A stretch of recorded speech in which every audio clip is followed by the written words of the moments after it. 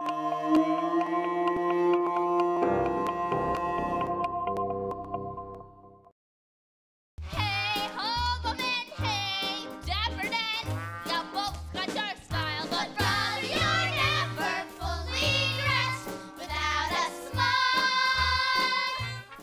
is my Hard Knock Life dress. It's my pretty much my orphan dress when we're in the orphanage and singing Hard Knock Life. I'm, I sing Tomorrow in and maybe in all like the cool numbers, and um, it's the dress I get picked up in Grace by. It's a hard knock life for us, got no folks to speak of, so it's the hard knock row we hoe, got blankets instead of full empty bellies. Yeah, it's Yeah. good.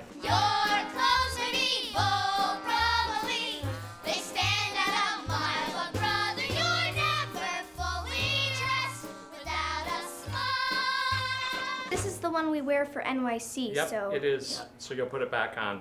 yeah, we sing a lot in this coat. NYC, what is it about you?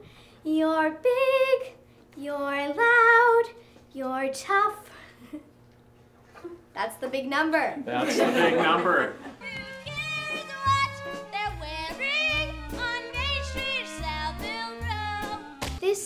My um, one of my mansion outfits, and I think it's pretty cute. It's what you wear from ear to ear, and not from head to toe. You've wrapped me around that cute little finger. You've made life a song. You've made me the singer. So senator,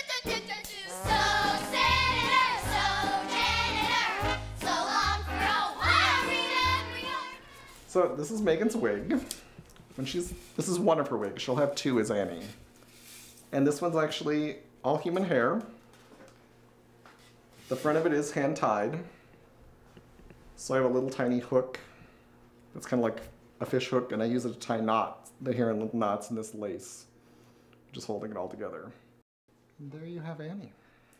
This is the best part of being wigged because you look totally different when you're done. So